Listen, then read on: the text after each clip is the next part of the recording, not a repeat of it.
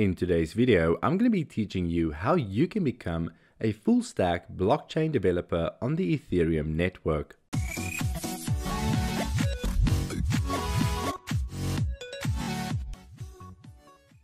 How's it going guys? My name is Daniel aka Hashlips and in today's video I'm going to be showing you how you can become a full stack web3 developer. But if you get stuck at any point in time in this video, head over to the hashlips.online website, click on Discord over there, and then join the Discord space. There are thousands of devs ready to help and facilitate you if you get stuck in any of these videos. I hope that helps and solves some of the problems, but let's jump in and see how you can become a full stack Web3 developer on the Ethereum blockchain. Okay, so where do we start off with? Well, first things first, in order for you to become a full stack Web3 developer, you need to set up a proper environment. Familiarize yourself with the key technologies and what they do in order to feel comfortable enough to play around. The technologies that we'll be looking at is firstly Solidity, which is the programming language that we'll be using. We're going to be using Hardhat as well. This is to deploy and build your Solidity uh, contracts. And then we're also going to make use of React, which you can replace for any front end. But React is basically the front end part.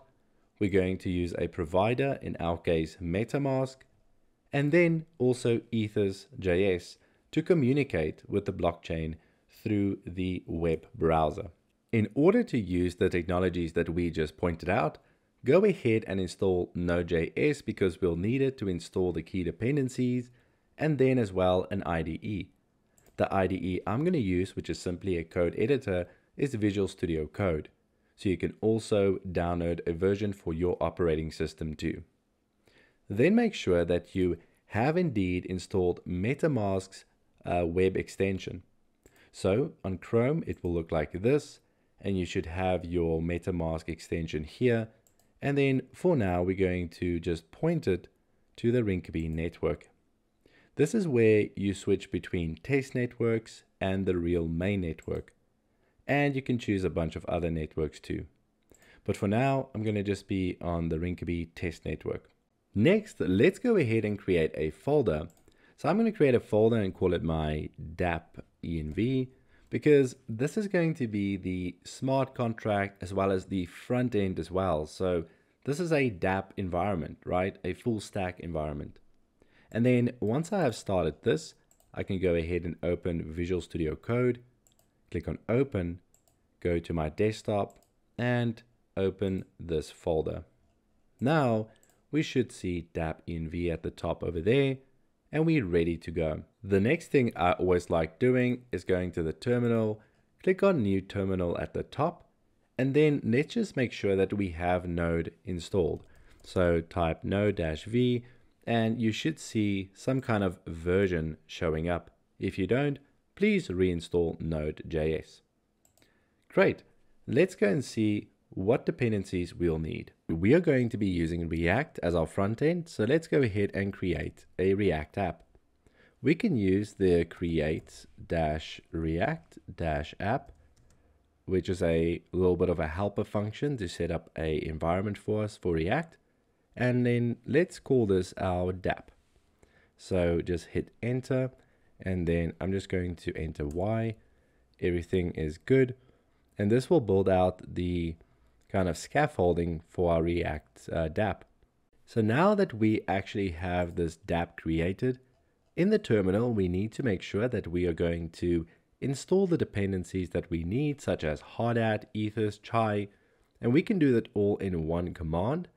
But first, very important, let's type in cd dap, which will mean that we are going to go inside of this directory. This is where we need to install our dependencies. And you can do this by typing in this one line command. What this command does is it installs ethers, hardhat, a bunch of hardhat extensions, as well as chai for testing. Hit enter and let's wait for that to complete. It looks like it's done, so we're going to clear the terminal. I'm going to press Command K, and now we can actually, while we're still in the DAP folder, we can run npx hardhat. This will initialize hardhat and also create for us a configuration file. Let's run that. So hardhat gives us a few options. I'm going to go with the first one, create a basic sample project. This is the root directory, so yes. And then uh, do you want to add this to git ignore? Just going to say enter. And it says that the directory contains files. The readme can conflict. So basically I'm going to delete my readme file, then run this again. And there we go. Project created. So now we actually see a few extra files and folders in our DApp. So Hardhat conveniently now set up for us a basic project. Adding for us first this contracts folder. In this folder is where you will type out your Solidity contract and here you can see actually is a starter one called greeter.sol.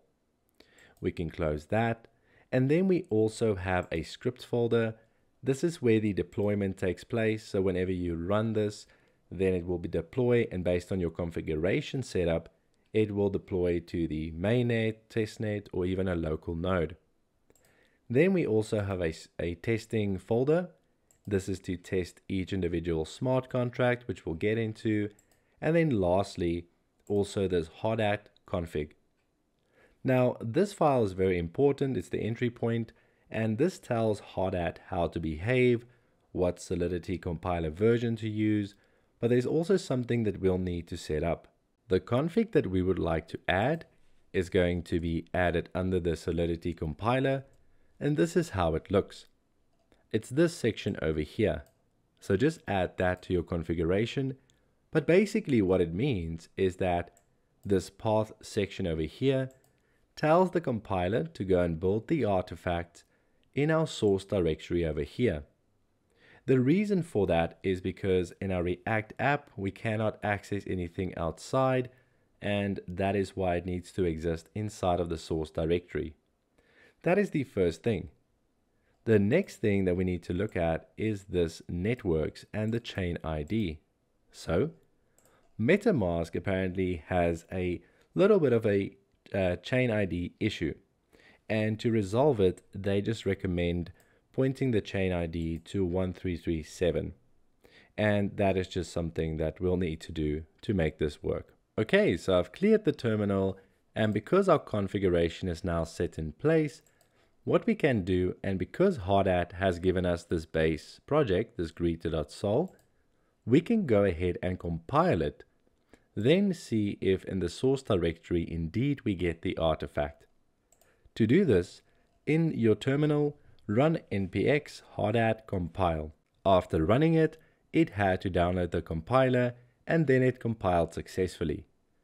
Here in the source directory, we can see we've got the artifact folder now, and inside there we've got three other folders and a contract folder. In here, there's the greeter.json, and here is our ABI. So this is actually describing what is possible with this contract. So when you change something in your contract, you will need to recompile it to make sure the ABI is also up to date. The ABI of a contract is extremely important. It acts as a blueprint, telling us exactly what the contract consists of, which methods, variables there is for us to use. But in order to use something in a contract, the contract actually needs to be deployed on a network. When we're talking about networks, we have the main network on Ethereum, testing networks, but we also have something called local networks, which are nodes that spun up on your machine acting like a blockchain. And that's what Hardhat also gives us. So in order to start a local node for now, click on this plus icon. Then, again, go and cd into the DAP and run npx hardhat node. Hardhat will then spin up a local blockchain for us. And each blockchain has kind of a entry point where we can point to and find this node. This is our entry point for the local node. As well as it gives us a list of addresses and their private keys. Each address has 10,000 ether on it, test ether, and uh, we can use this to deploy our contract to. So we can basically deploy our contract on this testing network. We can also import the testing network as well as wallet addresses into MetaMask. Let's go and do that next. So let's go ahead and copy this private key over here. By the way, never show your private keys to anyone. This is testing accounts, so this is fine in this case. Now, let's go ahead, go to Chrome, open the MetaMask extension, and if you go here to the top where the network section is, you can show and hide your network, your testing networks, by the way, if you don't see it down here. Now remember, our endpoint indeed points to 8545. I'm going to select that, and then I'm going to go ahead and import a new account. So here on the accounts, I'm going to say import account and paste my private key over there. Then click on import. Now I can see because I'm on the right network, it picks up that this address indeed has 10,000 Ether. So now we can say that we've set up our MetaMask to connect to this local node that we have running in our terminal. Okay, so let's go ahead and deploy our contract, this greeter.sol. Now that we have compiled it, we also have the ABI, we have spun up our local node, we can go ahead and deploy it. The first thing is we need to move back to our previous terminal because we need to leave the terminal running with our node. So go back to the previous terminal and run the following command. Before we do, we need to go into the scripts directory and change the script to deploy.js. Now we can go ahead and run the following command. npx hard run scripts deploy.js and under the network our local host. If we run this, this should deploy our contract and there we can see it has been deployed to this address. This is the address of the newly deployed contract. We can see if it did work by going back to our node go down and here you can see there was a contract that was created. Apart from getting the confirmation over here on our local node, we can also see on the MetaMask address that we've imported that we have no longer 10,000 Ether. We have a little bit less because there was some cost involved, some gas, deploying this contract. I also want to mention that in the environment, remember we have this test folder well, we can use this test to run things before we deploy it. So let's go back and just run a quick test. What we can do is basically run hardhat and instead of compile, test. Once you do this, we're going to run all the tests in this folder over here. And here we can see that this is what should happen and the test passed. Throughout our journey, we will learn how to write these tests, write new smart contracts, and deploy them on various networks. One thing that I still want to show is how to connect this smart contract that we've deployed over here on our test network to the front end. Maybe reading the data and updating the data. Okay, so now it's time for us to hook up our front end. Head over to the app.js and type in this piece of code. I'm going to slowly go through it line by line so you know exactly what it does and it's basically just to get the concept over to you, understanding how we connect to the blockchain, in this case the local node, creating an instance of our contract and interacting with the blockchain. So at the top over here, we have our import statement. This is just a normal React import statement to use the use state and use effect. This will help us re-render the component. Then we have ethers.js. This library, like we said, helps facilitate us making calls, interacting with our contract. Then we have the greeter JSON file. This file is actually, if you can recall, coming from the artifacts over here. This file contains our ABI, which we'll use to instantiate and work with our contract later on. Looking at the app component here at the top, first of all, we've got two variables, data and contract. And keep in mind, when set contract or set data is called, the component will re-render and it will have the new data or the new contract in here. We then have two functions, get data and update data. This function over here will get the data from our contract and this one will update it. Let's briefly look at the contract just to understand what we are doing here. So keep in mind that in get data, we are going to await for the contract and call the greet method. And on the update method, we're going to await for the contract and we're going to set greeting passing in the data field over here at the top. If we take a look at the contract itself, we can see that it has this function greet, which returns to us a string. Then we also have a set greeting, which takes in a string and then sets the local variable or the private variable over there. And that's basically all they do. So in our app.js, in our front end, we're going to be using the contract instance that we're going to create down here to get the greet and set the greeting. One thing that you notice is that these functions are asynchronous, which reminds me, this also needs an async um, declaration. But anyway, we need to wait for the blockchain to give us back some data. So there's always this wait for something to happen, then do something. In this case, we're waiting for the data to get back. Once we have it back, we set it in our local variable over here.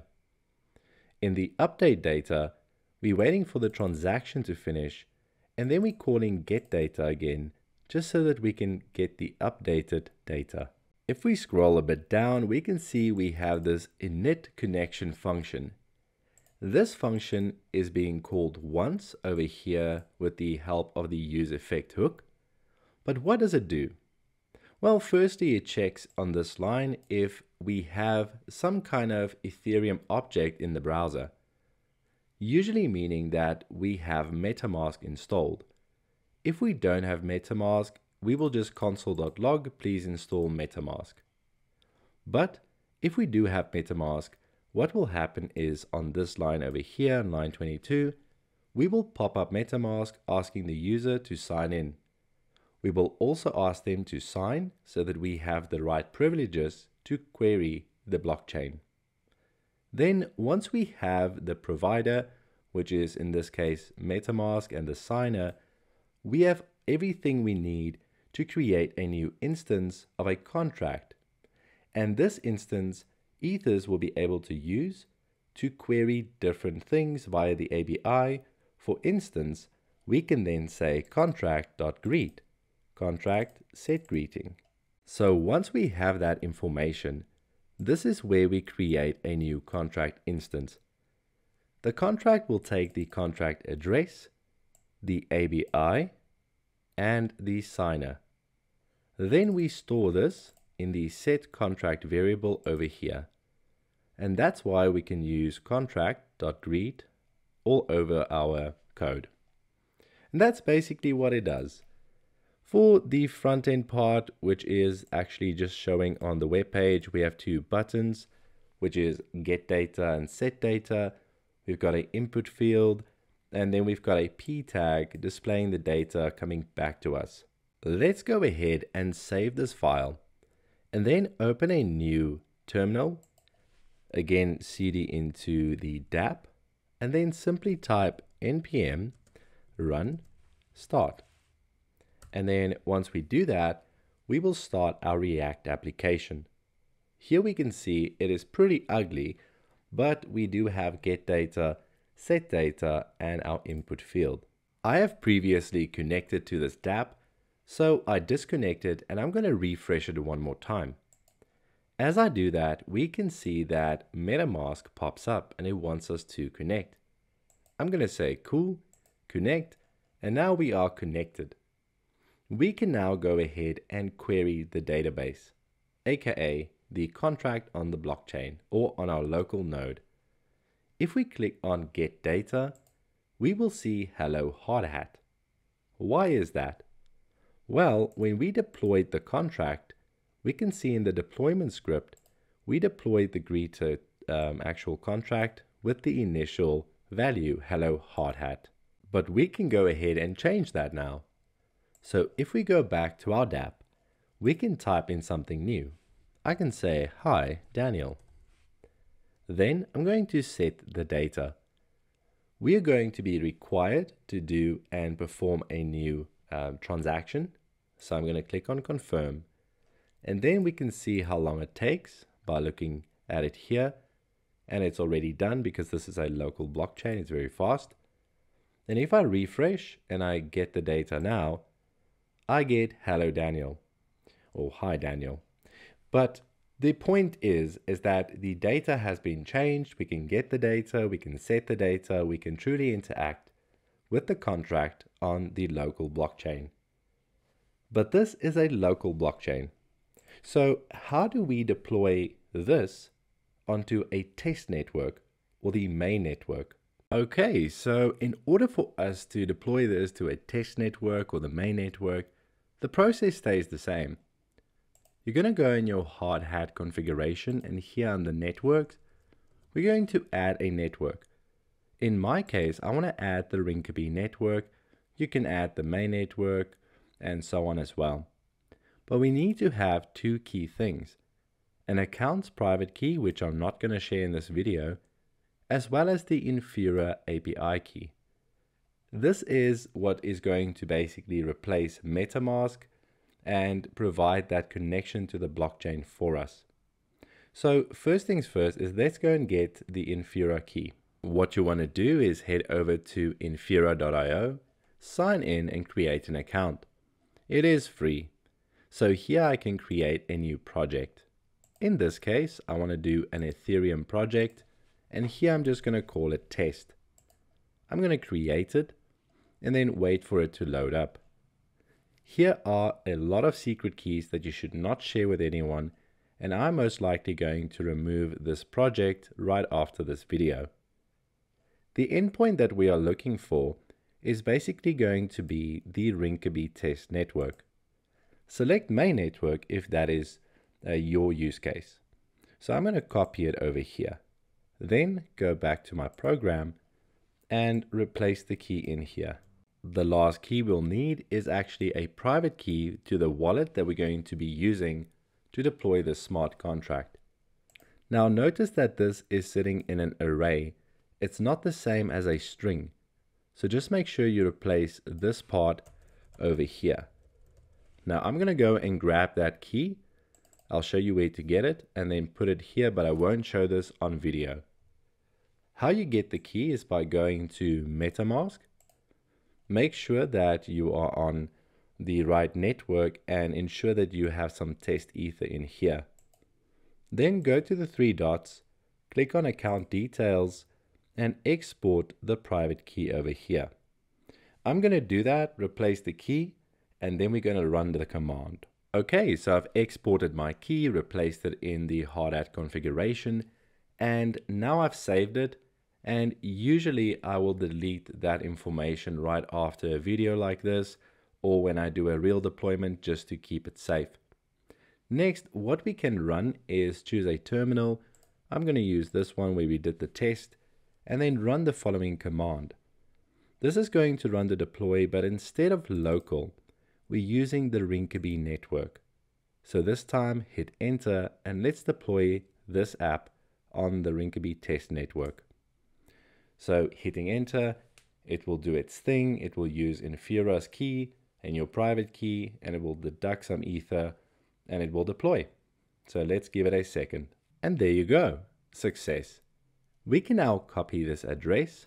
We can go to rinkeby.etherscan.io, enter it, and here's our newly deployed contract.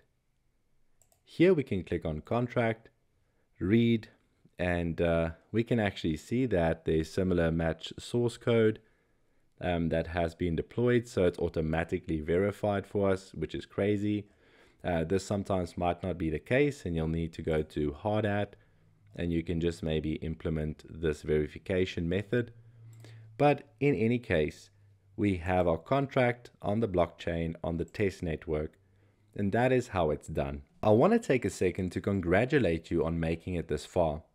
If you enjoyed the content, leave me a thumbs up and subscribe and don't forget to comment. I really do read those. Then, I want to say that the following videos are going to be around smart contracts, ideas, and things we can create. But I will be doing it in Remix. Remix.ethereum is a great online IDE for quick concepts of smart contracts and testing them out. Now, everyone knows that Remix is not a full development system, and that's why I've made this video to show you the alternative, the longer route, but the more solid path of Web3 development. I really hope you enjoyed this video, and in the meantime, go to the Solidity documentation and read up on it. It will help you out so much, and also prepare you for the following videos that I'm going to make. Till next time, I hope you had a tremendous time with me. Don't forget to subscribe and see you in the next video. Cheers for now.